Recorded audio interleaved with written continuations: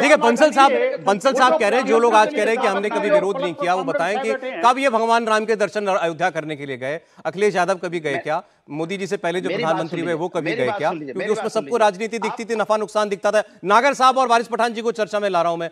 नागर साहब क्या अब आपको लगता है कि बीजेपी इस पर कोई राजनीति कर रही है? और अगर कर रही है तो क्या कुछ गलत है?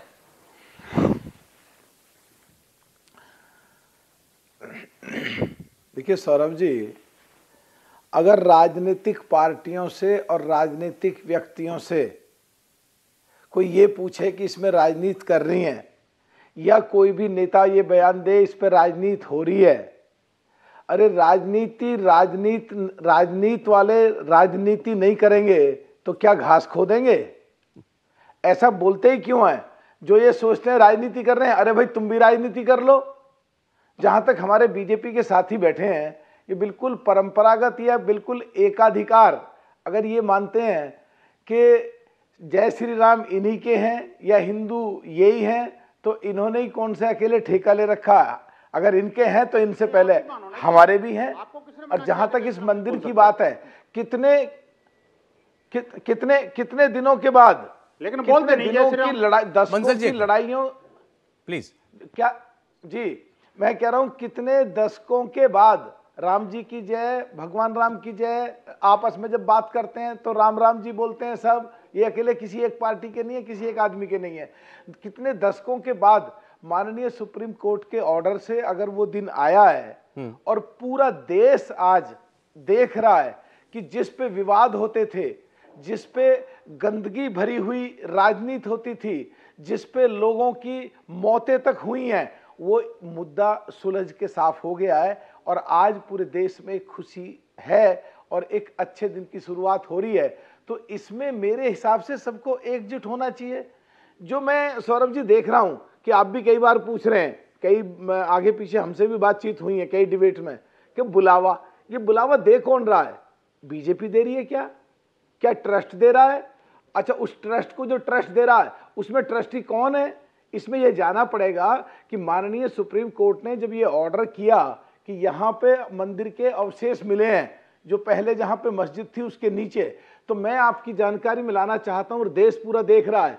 उन्नीस सौ छिहत्तर में एक नौजवान लड़का, जो अभी बुज़ुर्ग की स्थिति में है बिल्कुल ये मोहम्मद के के अहमद की रिपोर्ट थी, सर्वेयर थे पुनरत्व विभाग के, कि ये जो मस्जिद है, इसके नीचे जो अवशेष हैं उसमें मंदिर के अवशेष मिले हैं। हाँ। तो उसमें जो पूरा उन्होंने ये भी कहा है फिर सुप्रीम कोर्ट में पूरा तरीके से सबमिट है डॉक्यूमेंट।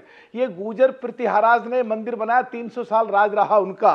तो क्या उस ट्रस्ट में एक भी आदमी पिछड़े समाज का लिया है जो बुला रहे हैं? और अगर बीजेपी वाले बुला रहे हैं तो क्या ये बीजेपी अब आपने ट्रस्ट के नाम पर इस पूरे मामले में जाति का जाति दाखिल कर दी। नागर साहब अच्छा एक मिनट अभी तक तो देखिए इसमें धर्म की बात होती थी आप इसने आप इसमें जाति भी लिया है। मैं ये कह रहा हूँ जो बुलाने वाले लोग हैं जो ट्रस्टी लोग हैं सौरभ जी देखना पड़ेगा अच्छा सर देखिए ट्रस्ट बन गया सुप्रीम कोर्ट ने फैसला दिया ट्रस्ट बन गया ट्रस्ट के ट्रस्ट के देख रेख में मंदिर भी बन गया। छोड़े इन बातों को आप। न्योता ट्रस्ट दे रहा है। मोटी बात न्योता ट्रस्ट दे रहा कोई पार्टी नहीं सुन लो ना बात। हाँ जी। तो तो ट्रस्ट तो ट्रस्ट दे रहा तो सबके सामने आना चाहिए कि जिन्होंने मंदिर बनवाया क्या उन पिछड़ी 60 परसेंट जातियों में से ट्रस्टी एक भी पिछड़े समाज का है? चलिए ये मेरा आज का विषय नहीं है। तो आप अगर ये अच्छा, पूछते कि भाई ट्रस्ट ये कैसे तय कर रहा है। कि किसको न्योता देना है और किसको नहीं देना है? तो, तो इस पर तो हम लोग बात कर सकते थे क्योंकि बहुत से लोग कह रहे हैं हमको इन्वाइट नहीं किया। एक है भाई। एक बार जरा बारिश पठान जी। नागर साहब प्लीज़ एक सेकंड बारिश पठान आपने कहा सब स्वागत कर प्रधानमंत्री खत्म करने दो प्लीज़ सौरभ जी प्लीज़ खत्म करने दो। सौरभ जी प्लीज़ खत्म करने दो। आपका एक सेट एजेंडा है। उस उस एजेंडा से अगर जरा इधर एनक्रोचमेंट अभी आपने कहा था। नागर जी? मैं कह रहा हूँ अभी आपने कहा था कि ये सैकड़ों वर्षों का विवाद खत्म हुआ। वहाँ मंदिर बन रहा है सुलझ गया मामला। अब आप इसमें जाति का एंगल डाल करके इसमें नई कंट्रोवर्सी डाल रहे हो कि भाई ट्रस्ट में कौन सी जाति के लोग थे पिछड़ी जाति के लोग थे कि नहीं थे? मैं जाति का नहीं डाल रहा मैं। ये ये जाति का नहीं डाल रहा हूँ मैं। वो पिछले जो ट्रस्टी हैं और जिस वजह से ये मंदिर यहाँ बन रहा है और जिसकी रिपोर्ट पे मोहम्मद के के अहमद की जो रिपोर्ट है सुप्रीम कोर्ट से उस रिपोर्ट के निकलवाओ पढ़ो फिर टेलीविज़न पे बैठो। आ जाते हैं कुछ के कुछ बोलते रहते हैं बैठ करके यहाँ पे सबके सब। के के मोहम्मद एएसआई के अफसर थे केरल के थे मेरे ख्याल से उन, उन, उन्होंने सारी रिपोर्ट दी थी जानते हैं उनके बारे में हम लोग भी। अब आप कह रहे हो कि कौन से कि गुर्जर तो कोई गुर्जर राजा थे उन्होंने मंदिर बनाया था मुमकिन है मैं कहाँ मना कर रहा हूँ? मैं तो आज ये बात कर रहा था आज मंदिर बन के तैयार है सब लोग कह रहे हैं कि भाई इसका 2024 के इलेक्शन के लिए इस्तेमाल कर रहा है। बात नहीं कर रहा हूँ। जी। देश की 60 परसेंट जनता की बात कर रहा हूँ। अच्छा ठीक। अच्छा ठीक। उत्तर देंगे आपको। मैं बहुत देर से इंतज़ार कर रहे हैं उनके पास जाना चाहता हूँ।